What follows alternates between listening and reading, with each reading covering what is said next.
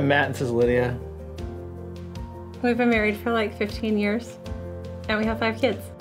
I'm Matt, this is Lydia. No, you can't do that. that was too cheesy. I am Matt, I'm Lydia. and we have five kids. Their names are. Esther, Nora, Ava, Ezra, and Silas. No, we're we have the most amount of fun when we're with people, having conversations, hanging out. Building relationships with people. Being in community. Oh, nailed it. That was good. That was like really good. Yeah.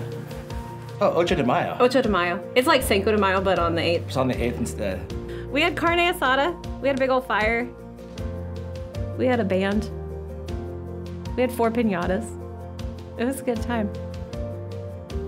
Because people need to be around other people. People have been away from other people for a long time. They needed to uh, eat and dance and beat a pinata. The next day we had some friends come over, meet us out there to help us clean up. We just reheated all the leftover taco meat that sat out all Brought out night. some more neighbors. and brought out a couple other neighbors and we stayed from after church until After dark. till yeah till after dark well that it takes sacrifice you can't just like we didn't just show up to a, the property and have like enough food to feed everybody or to have stuffed pinatas or whatever that you have to work for it. You you have to put in the time and the sacrifice in order to get the fun at the end. But we had a couple of friends from like that we'd met at like the gym and then another friend who we'd met at like a, different like through a different A friend different gym. a different gym no whatever but these two people who didn't know each other showed up at like a little a little get together thing and they started talking to each other I said, "Oh, how do you guys know each other?" And they're like, "Um, when we pressed side at your house last fall." And I was like, "Oh, well, that's cool because they, like, they got to know each other through that.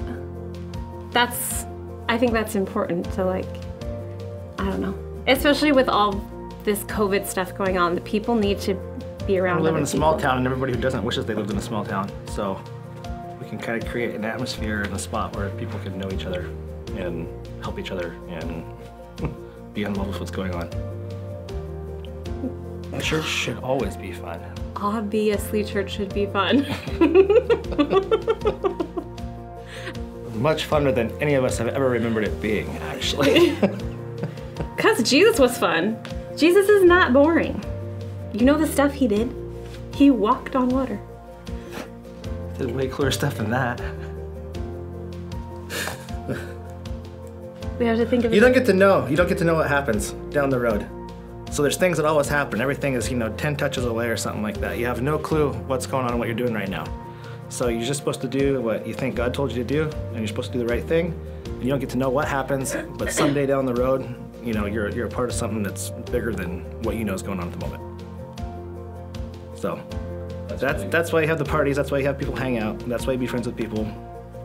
That's why friends come and go, friends change, friends do dumb things. the way we live our life, or we try to, is that we just try to do what's right. We know what's right is spending time with people and getting in them in community, and we know that we have a house that's capable for, or that can serve that purpose. And we know that's the right thing to do. And so where God shows up, we don't get to know. Sometimes we get to see a glimpse and then we're like, yay, thanks. But most of the time, you just do the right thing.